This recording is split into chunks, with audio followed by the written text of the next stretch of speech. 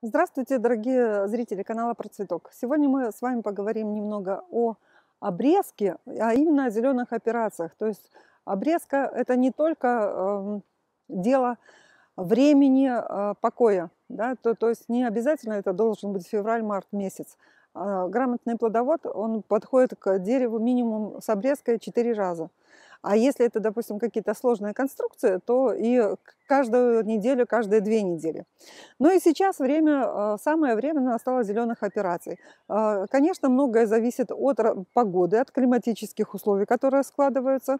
Но в этом году весна холодная и все медленно развивается, но тем не менее уже есть причины для беспокойства и проведения первых зеленых операций. Вот э, что такое зеленая операция? Вот вы видите, значит, была спя спящая почечка, из нее начали просыпаться побежки. Это можно вот на этой стадии они очень-очень легко выламываются, да, и вот э, даже усилить, даже секатора часто не нужно. И вот э, когда вот такое вот, здесь немножко уже одревеснело, да, и э, здесь уже может и секатором стоит. Э, естественно, перед зелеными операциями и после них желательно, чтобы деревья были обработаны. Но до проведения зеленых операций у меня деревья обработаны, а после них обязательно нужно пройтись фунгицидом для того, чтобы вот эти вот микроследы э, не стали входными воротами для инфекции. Вы, наверное, уже слышали, что даже а, упавший черешок отломавшегося, оторвавшегося листика может при определенных условиях послужить а, входными воротами для инфекции.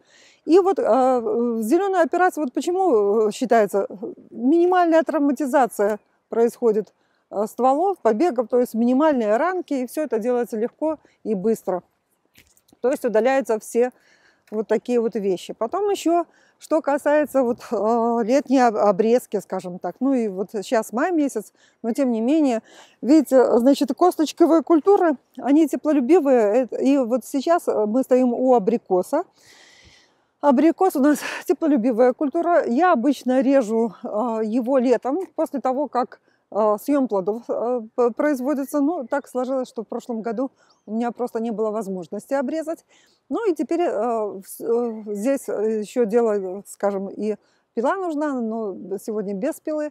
Но мы снизим вершину высоторезом, так как это стоило бы сделать еще в прошлом году летом. Я обычно режу это конец июля, начало августа. Ну, зависит от культуры, конечно, но тем не менее. Вот мы удаляем все конкурентные побеги, они не нужны. Ну вот видите, мы с макушкой уже разобрались, то есть все конкурентные побеги мы вырезали, а, а, допустим, если вы решили оставить однолетние приросты, двухлетние приросты, их можно укорачивать на одну треть, на две трети.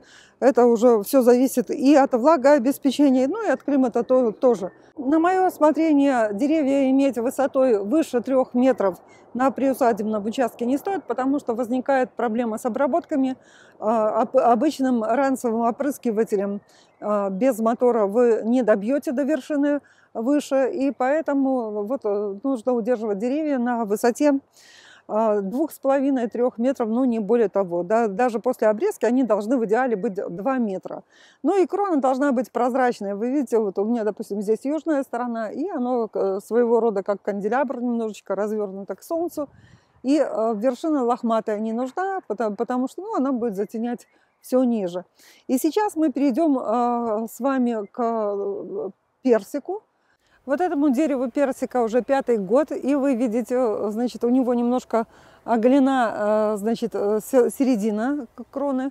Это произошло в результате весенних заморозков прошлого года, когда в мае грянули морозы, и э, дерево обмерзло здорово и резалось уже на живые почки просто.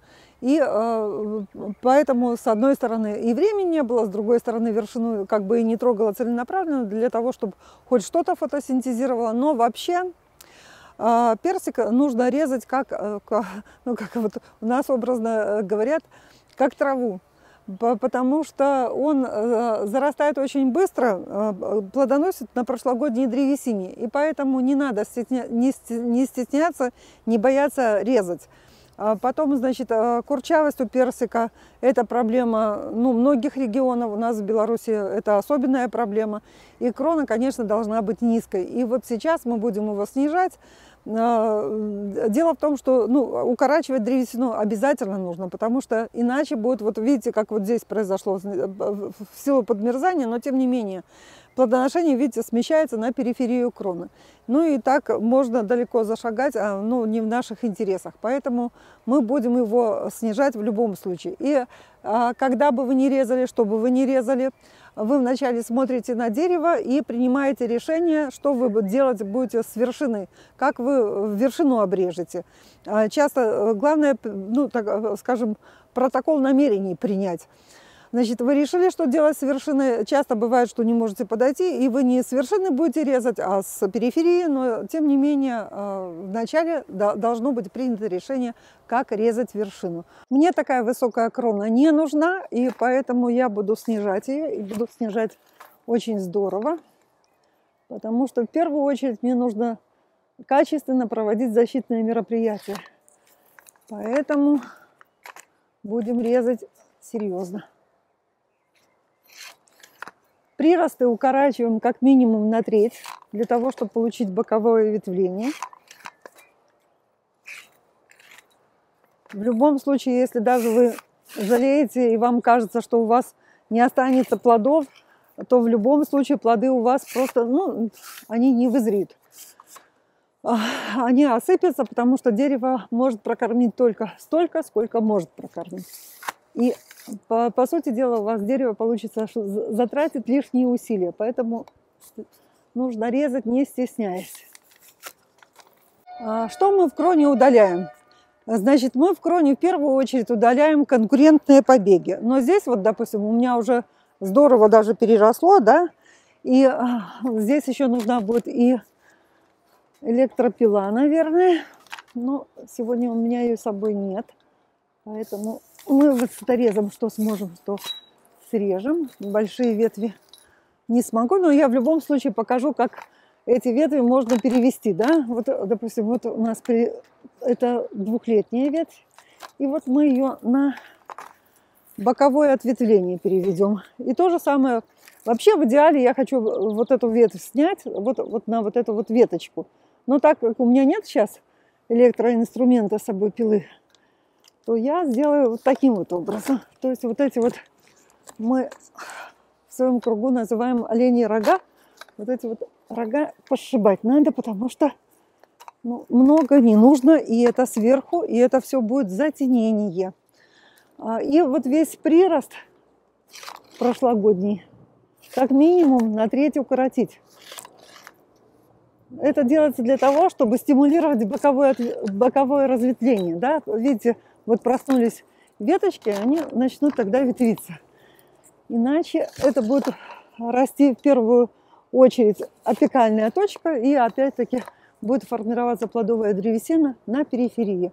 Потом вот видите, вот такие конкурентные побеги вообще полностью удаляются. Как бы они красиво не цвели, но они не нужны. Ну вот смотрите, мы снизили дерево ну, до трех метров точно снизили. Теперь я э, штангой опрыскивателя спокойно достану все. Мы проедили, сняли макушку, сняли все эти вот верхние ветви, э, олени рога, как я говорила вам. Да? И вот теперь, теперь крона прозрачная, легко будет обрабатываться, легко продуваться. Мы стимулировали боковое разветвление вот по периферии. И, собственно говоря, вот в таком уже состоянии крона может быть. А, Все, что мы могли сделать с этой кроной, мы сделали.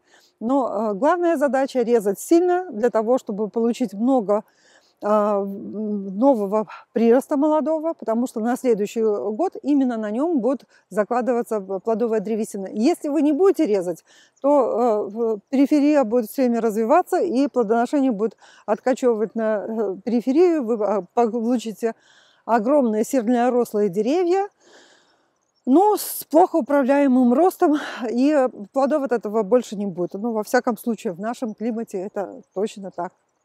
Вот, ну, с этим э, у меня все. И сейчас мы еще посмотрим, что можно сделать весной вот из зеленых операций на кустах. Вот смотрите, перед нами молодой кустик э, смородины, смородина красная, да? И казалось бы, что вот можно с ним делать в мае месяце, а делать можно и нужно. Смотрите, здесь уже вот появляются, вот у нас э, есть 5 э, таких, 6 даже э, сильных ветвей. Э, максимально допустимое в кусте 12 ветвей, больше их не нужно. И вы видите, что вот начинают расти молодые побеги. И наша задача оставить сильные и убрать ненужные загущающие крону побеги. Ну вот мне нравится вот этот побег, нравится вот этот побег. И вручную, вот так как я показывала на стволе а, абрикоса, точно так же мы можем брать конкурентные, ненужные нам побежки, загущающие крону, потому что в любом случае, если будет затенена крона, то урожай ну, ну меньше будет накапливаться сахаров, скажем так. Вот таким вот образом. То есть операция очень нехитрая. Все это вламывается вручную, и кустик становится прозрачным. И вот мы на замену, на будущее развитие оставили три побега. И вот таким образом у нас, если вот э, считать от корня, то их четыре ветви, если вот такие вот древесневшие побеги 6, и три оставили, 9 вполне достаточно, больше их не нужно. А единственное, что, значит, э, если сильно рослая культура, если у вас э, куст очень высокий, то желательно не больше 8 побегов для того, чтобы, опять-таки, чтобы все хорошо э, освещалось солнцем и в случае осадков, чтобы не застаивалась после дождей, чтобы не застаивалась влага в кроне, чтобы ну, не развивались патогенные микроорганизмы. Ну вот э, про зеленые операции на данном этапе все. А, вполне возможно, что летом мы покажем еще в дальнейшем, какие зеленые операции делаются, потому что их э, достаточно большое количество. Они делаются и на древесных породах, и на ягодных культурах тоже. А, ну вот э, на сегодняшний день у меня все. До свидания, до следующих встреч и хороших вам урожаев.